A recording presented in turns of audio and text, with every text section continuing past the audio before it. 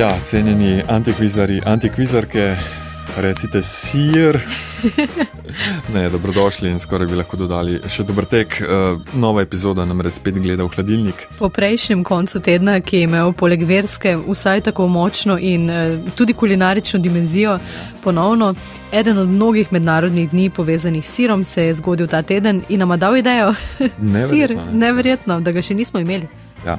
Danes to spremenjamo, pet podatkov o siru, štirje držijo, iščemo pa onega, ki ne, torej petega. Nič ena, 475, 2202, to so podatki o siru. Prvi raziskovalec Antarktike Robert eh, Falcon Scott je leta 1912 na svojo tragično ekspedicijo vzel tudi 1600 kg sira. Drugi podatek. Epoas je francoski sir s tako izrazitim vonjem, da ga je po francoski zakonodaji prepovedano imeti sabo v javnem prevozu.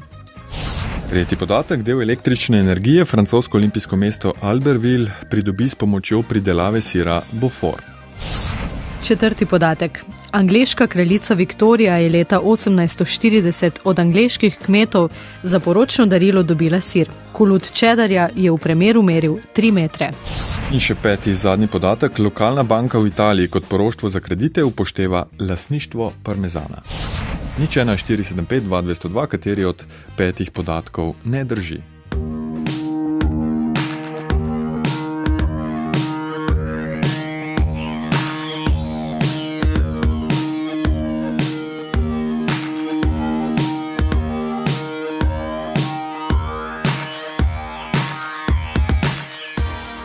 Imamo torej Antarktiko in 1600 kg sira, pa imamo Epoas, uh -huh. um, pa imamo Albertville in pridelavo sira, ne sira, elektrike iz sira, uh, ostankov sira, angliško kraljico Viktorijo in njene 3 metre v primeru čedarja, pa imamo uh, parmezan, ki velja kot uh, poroštvo za kredite v eni od bank lokalnih v Italiji.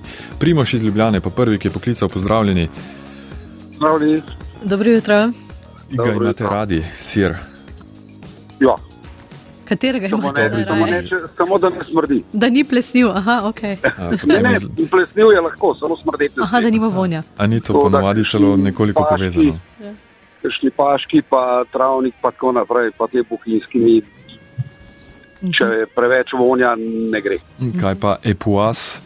Niste še poskusili? Uh, verjetno ga tudi ne bi. Če je že na avtobusu prepovedan. Ja, pa je, se ne vemo. Ne? Ja. Uh, uf, uh, neč, koliko ponovadi ugibam.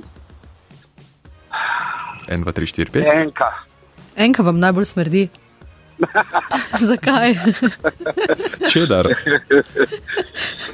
ja, mogoče malo, kaj se jim tisoč koliko kil že na Antarktiko. 1600 kg sira. Ja. Dober nos imate, lahko bi iskali tartufe.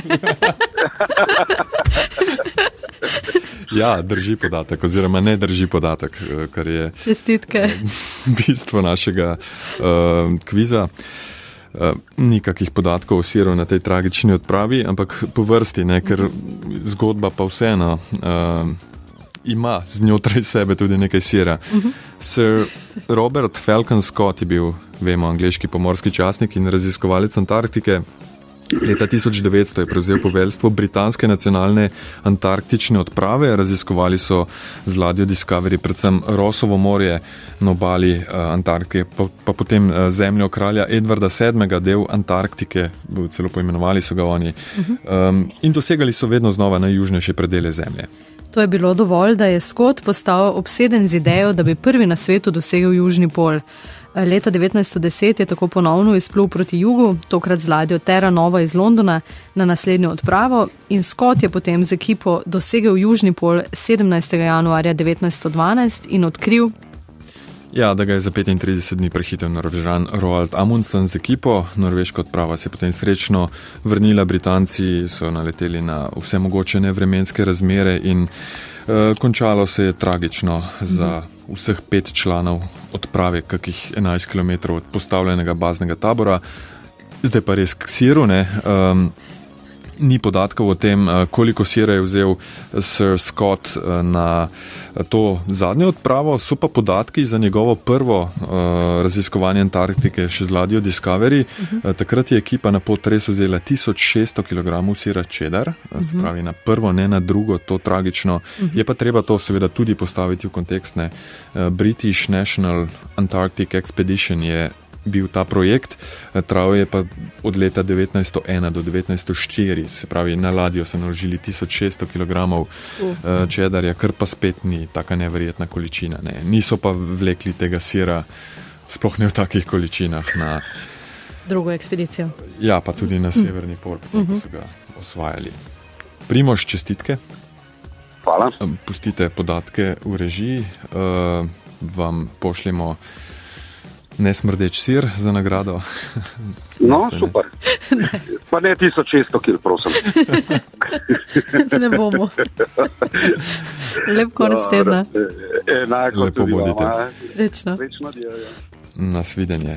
Primožu tudi Ivanu z Primorske, ki je vmes uh, obupal, seveda, uh mhm. -huh.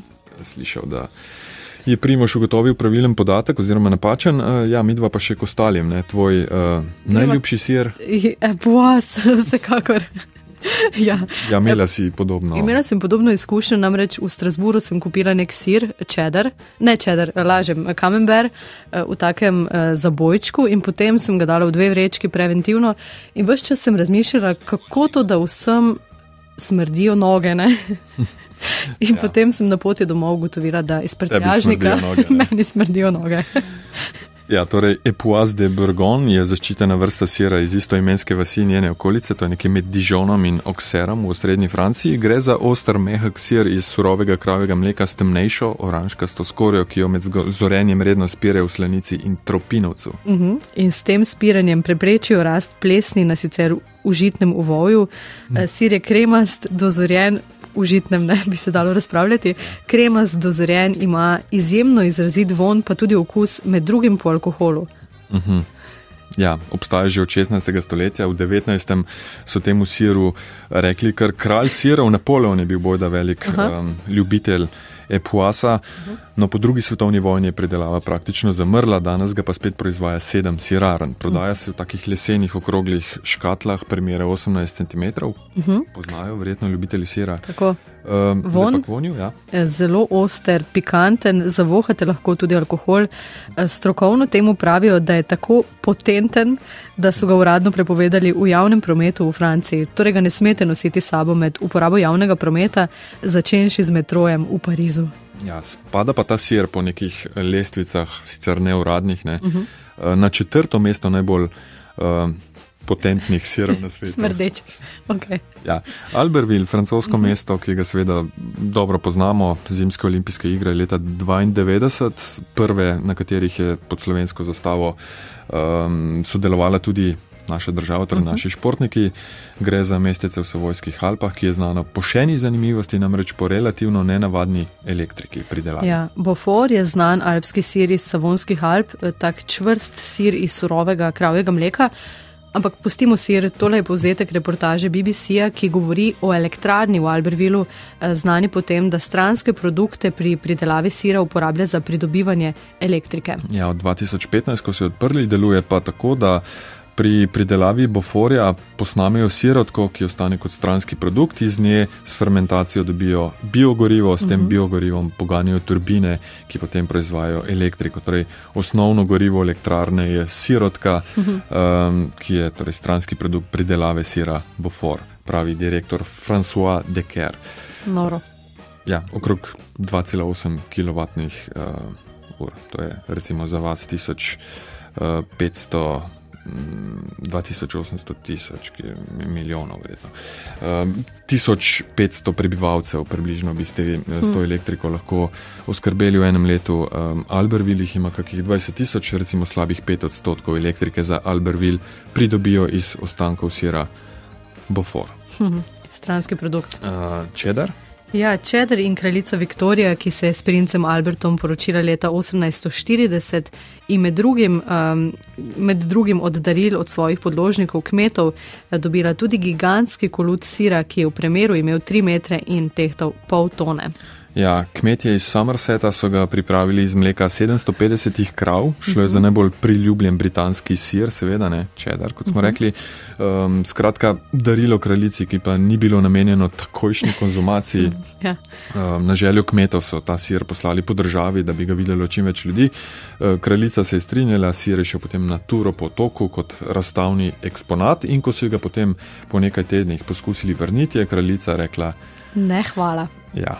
Eh, torej, drži, kraljica je dobila za darilo gigantski čedar uh, sir, uh, ki so ga kmetje podarili, verjetno bolj z namenom samo promocije kot česa drugega, torej promocije sira.